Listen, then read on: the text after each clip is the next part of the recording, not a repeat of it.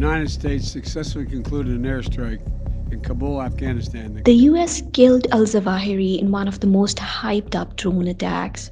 But is there a legal justification for US over the horizon operations in Afghanistan? In August 21, UNSC adopted Resolution 2593 that bound the Taliban to prevent threats from terrorist groups. Failure to do so can provoke the UN to adopt Chapter 7, Article 42 of its charter.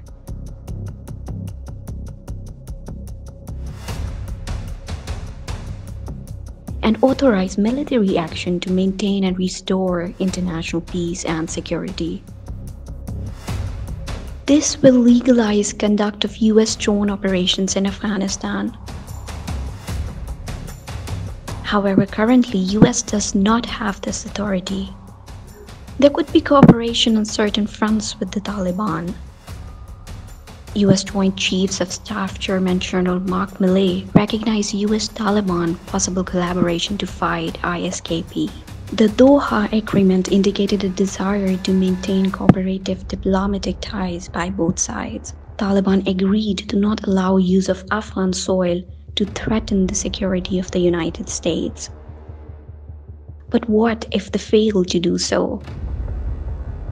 The US might invoke the unable or unwilling doctrine that resembles its air campaign against ISIS in Syria. However, its legality is only justified in case of a direct attack on US from Afghan soil. In light of this debate, what will be the future of drone strikes in Afghanistan? And how will they be justified in the pretext of international law?